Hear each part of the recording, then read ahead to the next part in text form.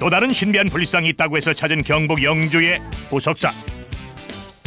무량수전으로 잘 알려진 이 절에는 어떤 미스터리가 숨겨져 있을까?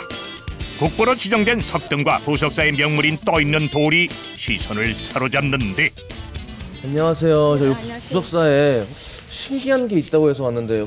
사람들이 지금도 모이가 구경할걸요. 보였다 안 보였다 해요. 굉장히 신기해요. 아 방금 보고 왔는데 아주 신기해요. 진짜 최고요. 보고 오세요 한번. 보였다가 사라진다? 이 대체 뭐가 신기하다는 건지 저기 사람들 모여 있는데? 어디요? 저기.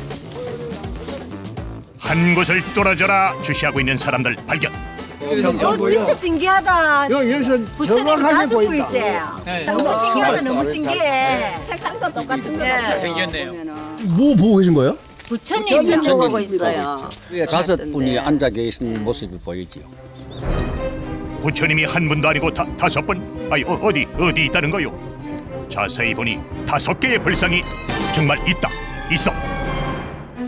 좀 더 가까이에서 살펴보기 위해 불상이 나타났던 누각으로 향하는데 무량수전 앞에 위치한 누각. 그런데 방금까지 보였던 불상이 보이지 않는다. 아 이거 대체 어찌된 이 역물이야 이거? 보여요. 우리는 보이는데요. 그 뒤로 더 가야 돼요. 그 뒤로 예, 중간으로요.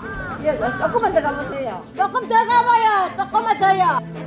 아이 뭐 도대체 뭐가 보인다는 거요? 에? 안 보여요.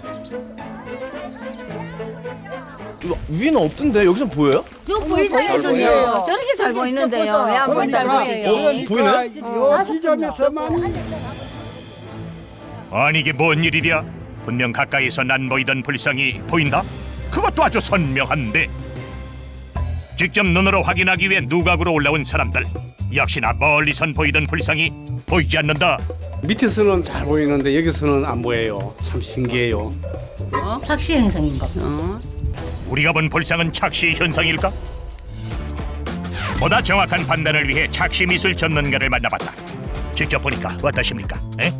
아주 궁금해요 내가 제가 착시를 이용한 벽화나 트리가트를 많이 해, 해봤는데 이런 거는 처음 봅니다.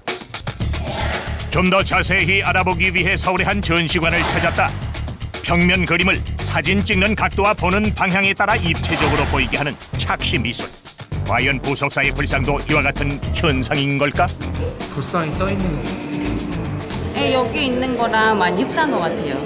나타났다 사라진다 해서 붙여진 별명 유령 불상. 과연 그 정체는 trick art는 어, 형체를 왜곡시켜서 착시를 일으키는 현상인데 아예 사라지게 하는 어떤 그런 거는 아니기 때문에 이건 trick art라고 볼 수 없습니다.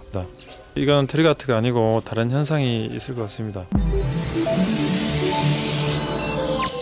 KBS